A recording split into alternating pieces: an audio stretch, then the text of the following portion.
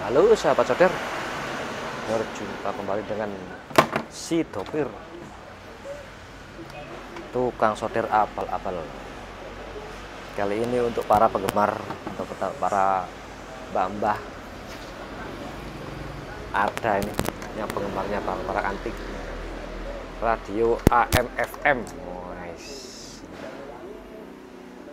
Mungkin ada yang pernah mengalami atau mempunyai atau masih mempunyai radio seperti ini biasanya untuk para kakek ini penggemarnya radio ini.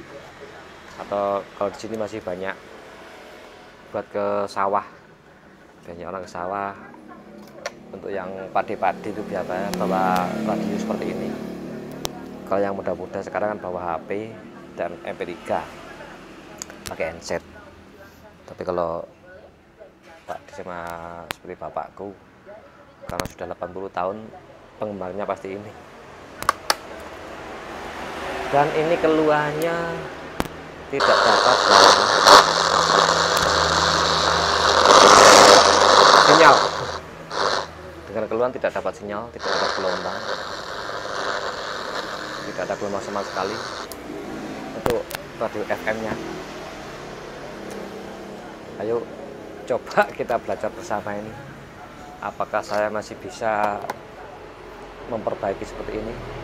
Setelah beberapa puluh tahun tidak mengerjakan radio seperti ini. Ayo dicoba. Let's go.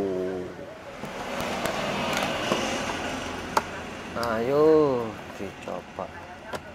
Bongkar. Saya sudah lupa ini sudah berapa puluh tahun sudah bertahun-tahun. Tidak bongkar radio seperti ini. Ini karena kasihan sama Pak D. Biasanya orangnya mendengarkan wayang.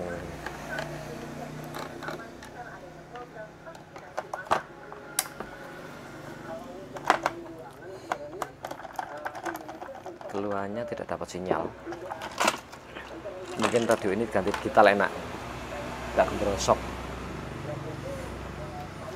ya masih se isinya sekarang sudah baru sudah tidak memakai osilator-osilator lagi. IFT atau apa itu tidak ada. Sudah dipersimpelkan oleh Cina. Dan yang seperti ini tidak enak.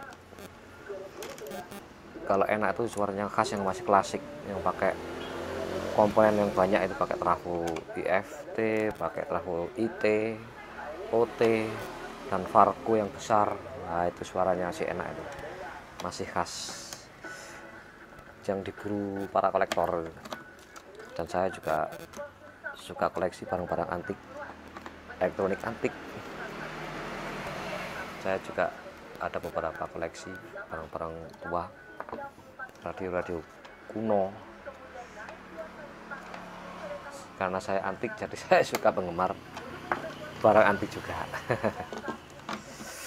Apa karena saya mukanya antik ya? Waduh seperti ini semua ada gigi pesnelengnya ini. Dan isinya simpel sekali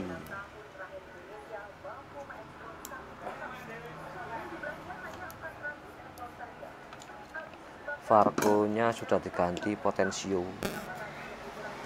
Ini sekarang menjadi potensio. Potensio variabel atau yang jenisnya resistor. Ini 100k kalau yang dulu kan masih jenis kapasitor. Kapasitor variabel. Nah ini isinya cuma kecil. Ini isinya biasanya ada di modul MP3 ini. Modul MP3 yang radionya seperti ini nah isinya hampir sama. Mini sekali. Ayo cek mungkin potensinya bermasalah. Tak nyoder dulu. Dan lagi-lagi saya pakai ramuan andalan ini. Thinner spesial. Eh cari Doraemon ngono. Bersih-bersih dulu dibersihkan dulu. Ini biasanya ada embun-embun bekas embun air. Karena ini pakai frekuensi radio jadi sangat mengganggu.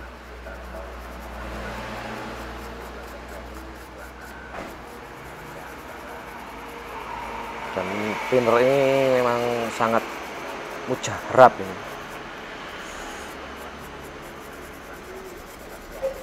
Karena sering dapat kerjaan mudah dari pinner bersihkan semuanya nih di potensio potensio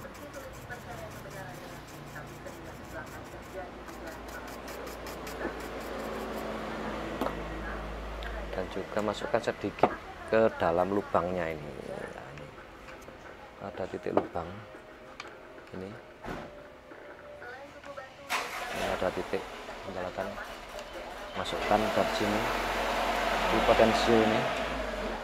Masukkan juga. Di sini nah sini ada titik yang ini. Masukkan titik lubang ini dan juga lubang di potensio ini masukkan. Biar pinternya masuk untuk membersihkan dalamannya. Seperti ini. Kelucur kelucur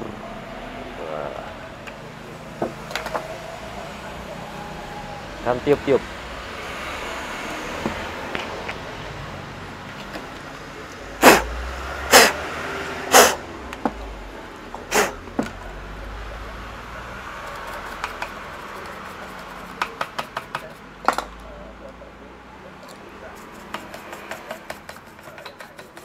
ratakan di semuanya biar bersih. Dari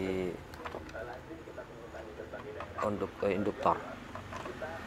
Karena air termasuk jenis induktor.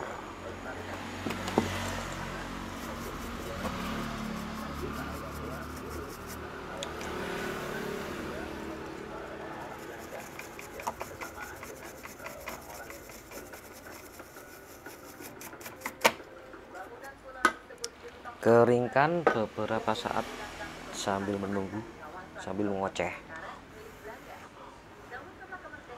ini saya akan percepat pakai pemanasan saudara kalau pakai blower enak ini.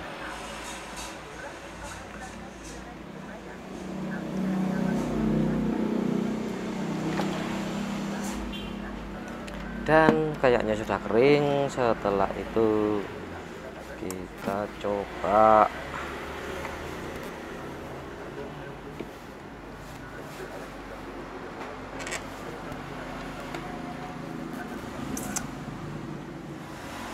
gearnya belum dipasang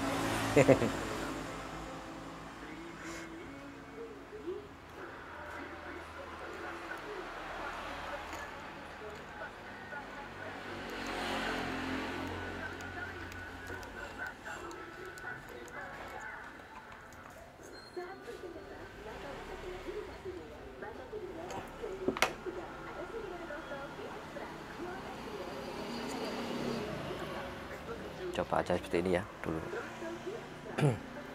Tak encepkan dulu. Karena ini baterainya tidak ada saya pakai listrik.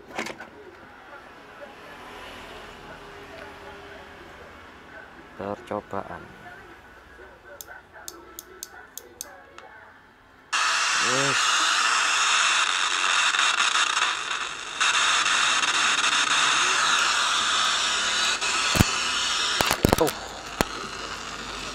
Sob ketemu.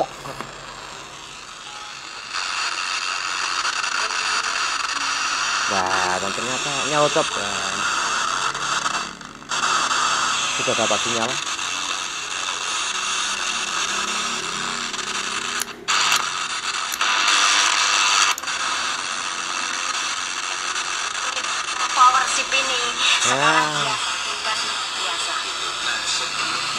dapat sinyal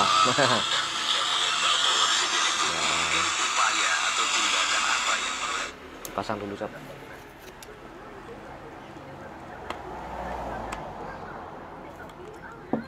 Serba ngirit nih kabelnya ini pakai kawat. Led. Produknya produk ngirit iki sob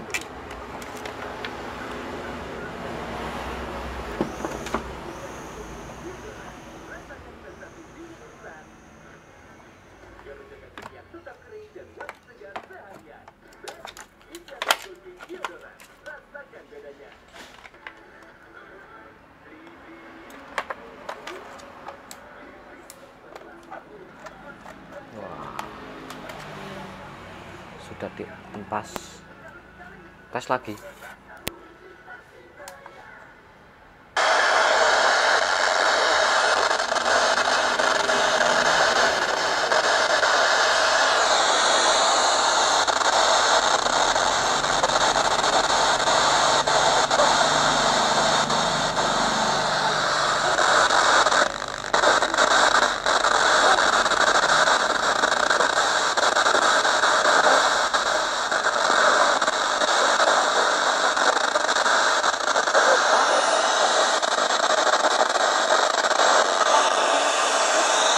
ini karena saya ada di bawah atau atap ini terbuat dari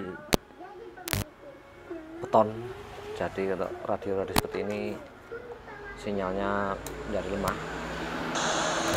Kalau jadi nyobanya harus di depan ya di udara bebas. Di bawah beton atau di bawah jaring-jaring besi itu tidak akan mendapatkan sinyal karena masih menggunakan frekuensi magnetik frekuensi listrik. Bukan yang sekarang ini kan pakai frekuensi digital.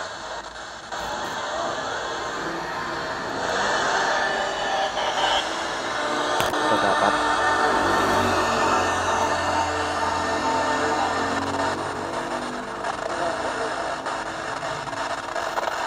pernah merasakan kesakitan atau ada keluhan di jalan nah seperti apa? Jadi misi pun terselesaikan nih Radipati semoga bermanfaat ya sob. Wassalam sekian dan terima kasih